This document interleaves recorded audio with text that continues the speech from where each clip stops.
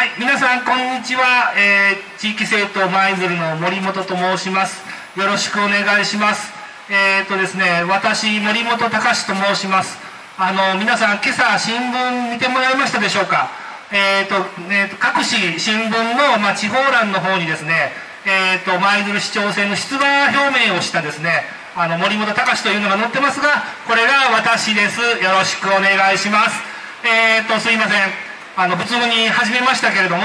一応の私がこの挨拶始める時はですね「あのやばいぜ」って言いますんで皆さん「あの舞鶴」とお答えください。あの恥ずかしい方はあの心の中でいいんでよろしくお願いします。やばいぜ!舞鶴はい。あのこれで始めたいと思います。よろしくお願いします。えっ、と前回ですねまあこのここでもあのお話しさせてもらったんですけれどもまあちょっとやばいぜ舞鶴言うの忘れてましてですねあの今日から今回からはやらせてもらいます。であの選挙戦まで、えー、と毎週土曜日2時からここの場所であの街頭演説。大雪が降らない限りは大雪大雨とか台風が降らない限りはですね可能な限りあの街頭演説させてもらいますんでよかったら皆さん聞いてやってください。あの私はですね今の舞鶴市政にあの不満を持ってます。この舞鶴市政不満に持ってましてですねこの舞鶴をなんとか昔みたいな良かった時の舞鶴に取り戻したいと思ってですねあの頑張って活動しております。この地域政党舞鶴というのは、え4年前にできました。4年前の、え市長選挙の前の時にでできたんですけれども、まあ、私の友人と2人で一緒に立ち上げましてですね今4年目です。であのもう全然知名度はないですけれども実は結構いろんな活動をしてましてですねまああのインターネットなんかでですね舞鶴の問題をあのたくさんアップしております、えー特にですね YouTube をよく使って、まあ、舞鶴の市政批判行政批判っていうのを中心にやらせてもらってるんですけれども、えー今あの YouTube は毎日更新しております。毎日ですね最新の舞鶴の政治行政の問題を YouTube を通してあのお話ししてますのでですね皆さんもしご興味があったら YouTube で「やばいぜ舞鶴」で検索してもらうとですね舞鶴のいろんなニュースがわかると思います、えー今回はですねその、まあ、舞鶴のニュースの一つであるあの最新のお話をしたいと思います。えー、と皆さんが興味があると思います医療問題です。舞鶴の医療問題、えーどれぐらい深刻なのか皆さんご存知でしょうか、えーお医者さんが少ないだとかあの病気になったら遠いところのお医者さんにかからざるを得ない、えーそんなお話をあのよく耳にすると思います、えー特にですね、まあ、高齢の方なんかはですねあの本当にお友達同士で病院のお話病院がないよお医者さんがないよっていうお話をされてるとは思うんですけれども今皆さんが思ってる以上に舞鶴の医療は深刻です。えーとですね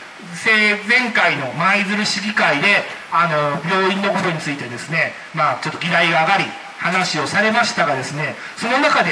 驚くべきことが分かりました。えー舞鶴市はですねもう完全に医療医療のこのまあえっ、と医療をこの復活させることを失敗してしまってですねあの公的4病院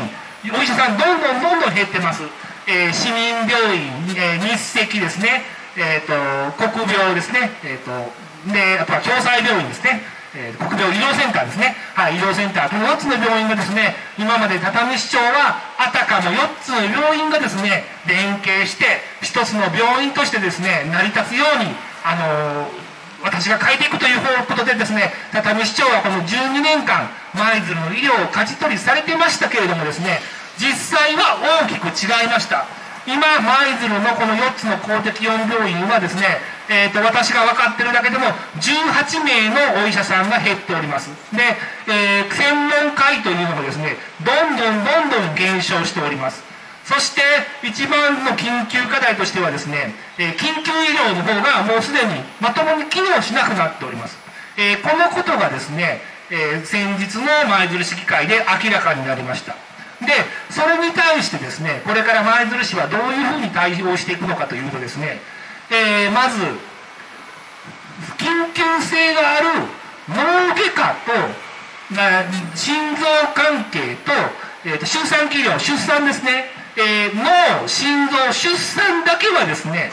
今から今からなんとか医療体制を整えると。脳と心臓と出産だけは今から今からお医者さん探して何とか体制整えますと。それ以外は諦めて舞鶴市外のお医者さんにかかってください。そのように言われました。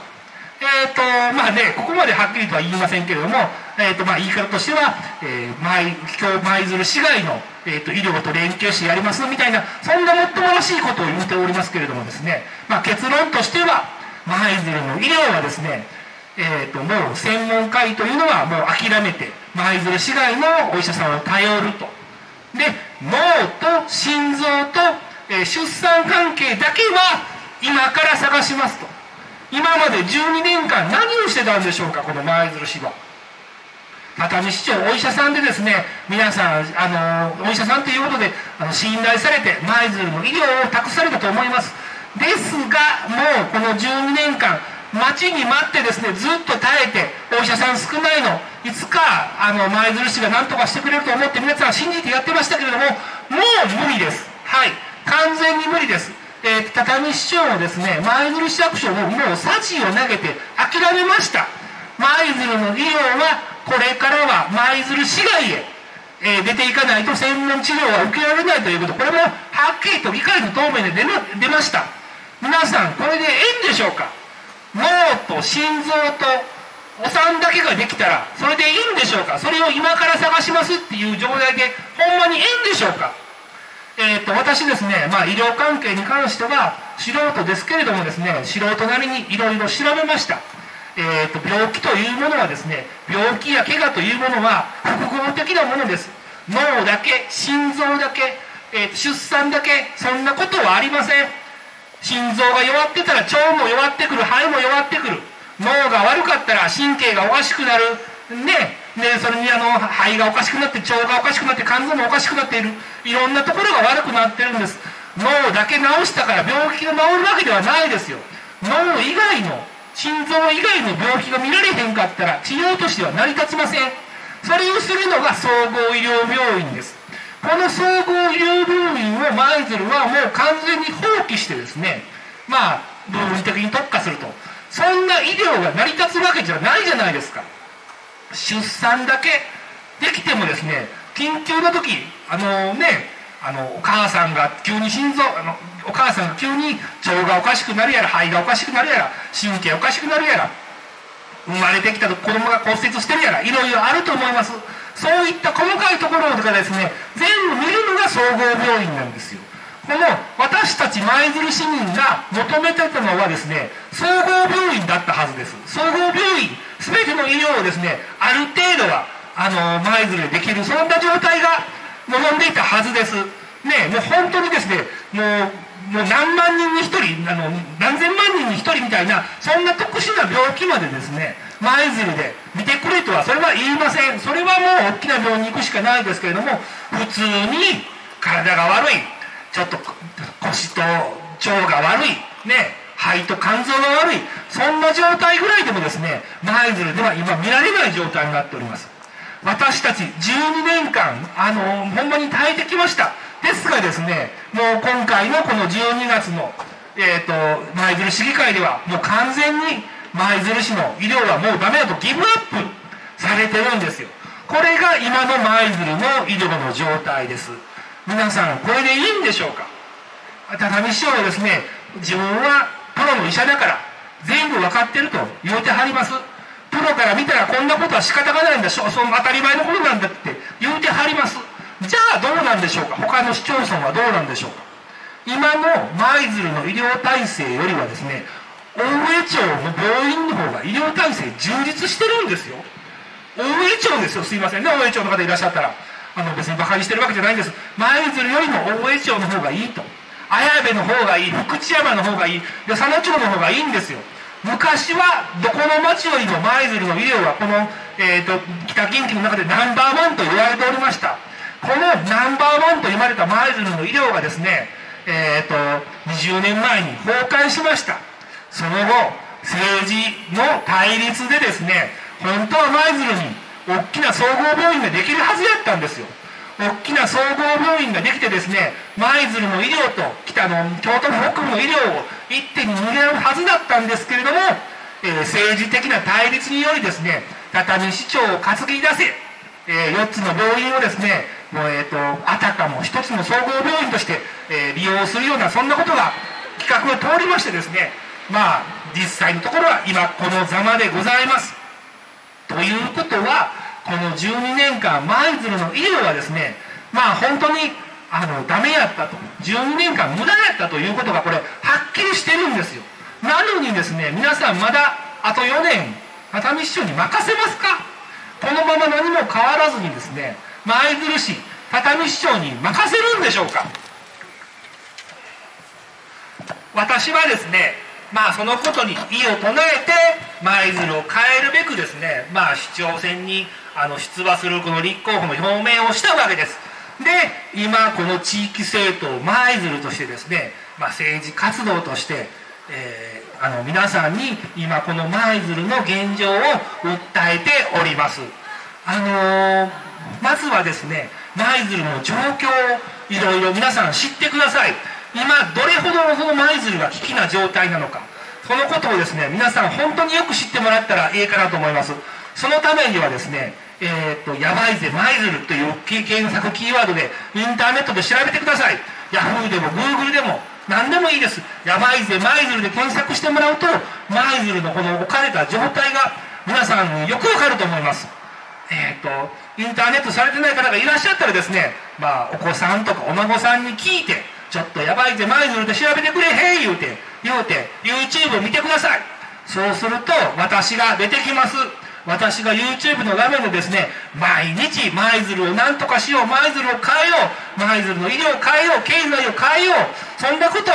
あの申してますんで皆さんあのインターネットで「やばいぜ舞鶴」で検索してください。今ですね舞鶴の人口は12年前に比べてなんと1万人も減ったんですよ。1万人ですよ。私の子供の頃はですね舞鶴の人口はもうすぐ10万人だとそう言い聞かされてですね10万人に届く日を皆さん待ちわびていたと思います。いつになったら10万人になるんかなって言ってみんなそう思ってましたよね。でも結局10万人になることはなくですね今もう人口は1万人以上減ってます。今ですね人口7万台ですよ。7万9000台ですよ。これからもっとどんどんどんどん下がっていきます。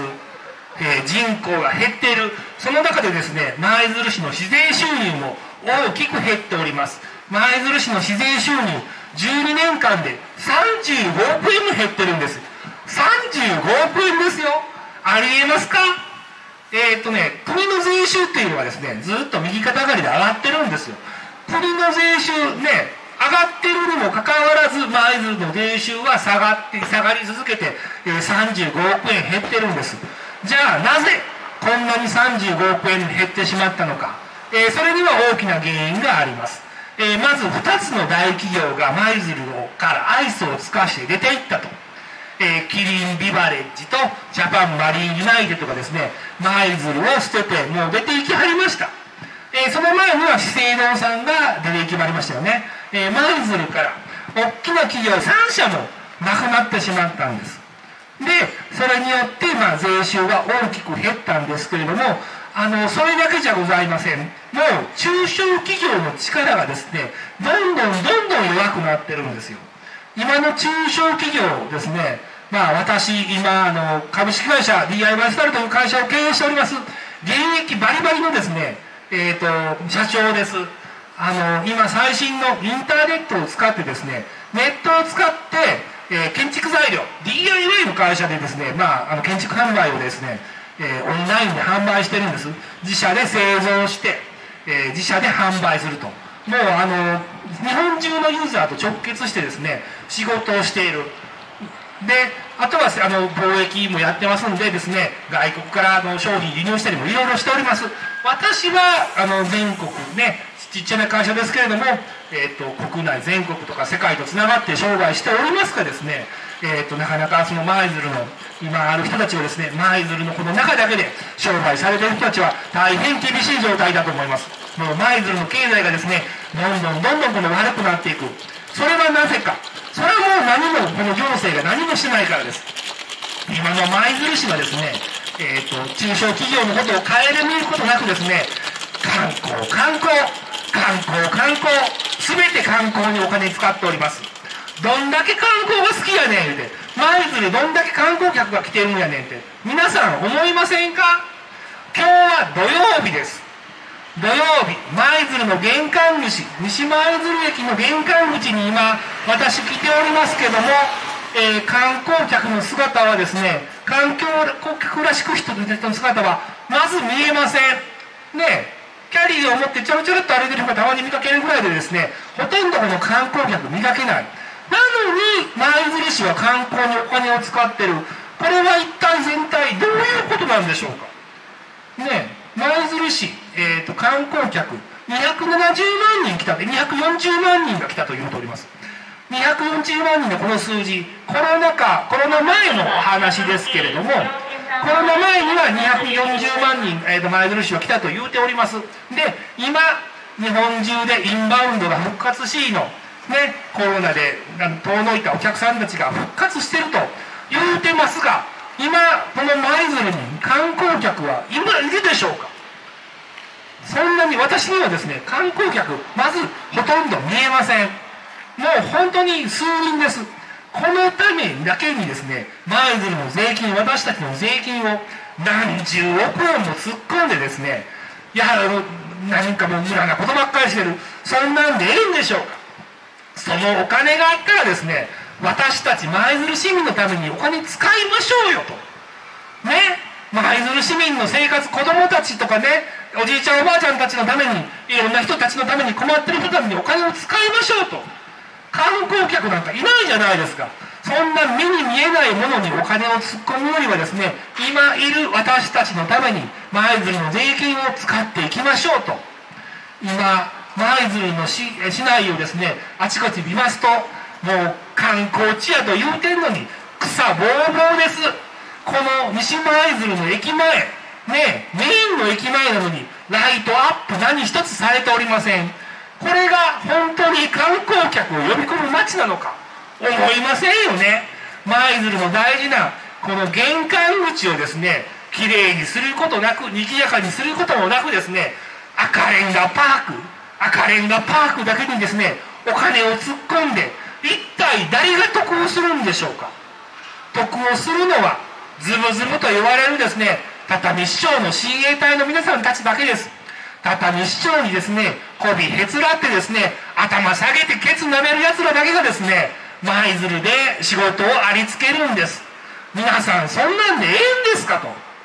ねまともに仕事しましょうよと。そんな利権だとかね私利私欲にまみれたお金の使い方をせずにですね税金は舞鶴市民のために使いましょうと。そのためにですね私は4年間この舞鶴市政のですね不正とか腐敗を暴くためにですねいろいろ活動してきました。私の友人と2人でですね舞鶴の行政文書公開文書というのがあります。あのちゃんとしたいろんな記録が舞鶴市の中に残っております。それをありとあらゆる手を使ってですね可能な限りたくさんの舞鶴の行政文書を集めました。段ボールに数箱分にも及ぶ膨大な行政文書を入手しですね分析し続けました。そうするとですね本当にね舞鶴にたくさんの問題があることが分かったんですよ。もう本当にあの30分ではもう言い伝えられないぐらいたくさんの舞鶴市の不正とか腐敗とかいろいろあります。そんなことをですねやっている舞鶴市の職員さんたち何をしてるんだろうと思いますけれどもですねもう舞鶴市の職員さんたち最初はね畳市長になってからね一生懸命頑張ってはったんですけれどもあまりにも問題が多すぎてもう今さじ投げて諦めてます。でも今にわたってはですね舞鶴市役所の中ボロボロです。私が今この舞鶴の悪いところを今インターネットを通じて暴露しておりますけれどもですね舞鶴市の職員さんからいろんなタレコミあります。もう本当にあの舞鶴の問題こんなことがあるんやあんなことがあるんやっていうもう増えてます。もうこのこの蚊に不正があるとかそんな情報全部把握してですね私たちはそれを一生懸命今これ調査してる最中です。で私がやりたいのは舞鶴の改革です。舞鶴の問題点を改めて昔みたいな良かった舞鶴市にしたいというふうに思っております。これをするためにはですね今舞鶴のどの勢力どの団体ともですねつるんだらそれは改革できないんですよ私はですね市民の力だけで舞鶴の改革をやり遂げようと思っています。それはなぜかもういろんなところの権力舞鶴の団体とか事業者いろんなあの団体権力そんなものがもういろんなことが密接に結びついてですね複雑にがんじがらめで絡み合ってるんですよ。そうするとですねそういった団体の応援を受けると舞鶴の行政改革できないです。だから私たちはですねもう行動するこれ書いてあるので行動する市民制度と書いてありますけれども私たち市民だけでですね舞鶴のことを変えようと、うん、それが一番この舞鶴を正しくする一番近道だと思ってですね日夜これ頑張っております。もう大変小さな力が強いあの地域政党舞鶴ですけれども私たちは今このインターネット IT を駆使してですね舞鶴市の皆様にこの真実を伝えております。インターネットでですね「やばいぜ舞鶴」で検索してもらったら舞鶴のこの置かれたもう大変な状態皆さん分かってもらえると思います。あのもうね今寒いんで立ち止まって聞いてくれとは言いません。ただ一つインターネットで「やばいぜ舞鶴」という言葉だけを調べる。ただそれだけを覚えてください。そうしてですねあの一度家に帰ってあったかい中でですね「やばいぜ舞鶴」で検索してもらって舞鶴のこの今置かれた状態を知ってもらいたいと思います。私たちの子供や孫ひ孫たちの世代のためにですねこの舞鶴を私は残したいと思います。このねあの